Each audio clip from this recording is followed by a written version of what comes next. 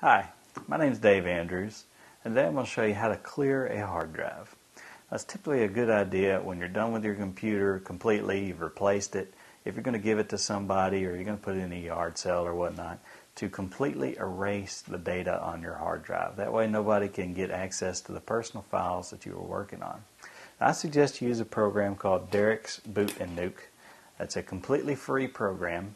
You can download it from dban.org and just burn it to a CD. There's no charges, and it works great. Once you basically burn that program to a CD, just pop it in your computer and just boot up your computer.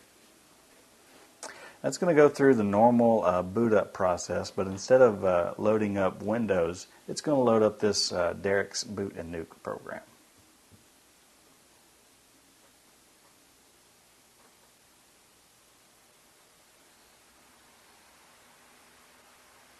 And so here we have it.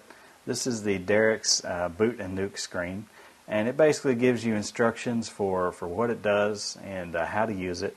And all that you need to do if you want to completely wipe out your hard drive is type auto nuke, A U T O N U K E, and press the enter key. Now it's important to note that once you press that enter key, it's going to begin. There's no more click here to continues or are you sure. It's going to completely wipe out your hard drive and it's going to do it in using a Department of Defense standard that is basically uh, completely unrecoverable. My name is Dave Andrews, and I've just showed you how to completely wipe a hard drive.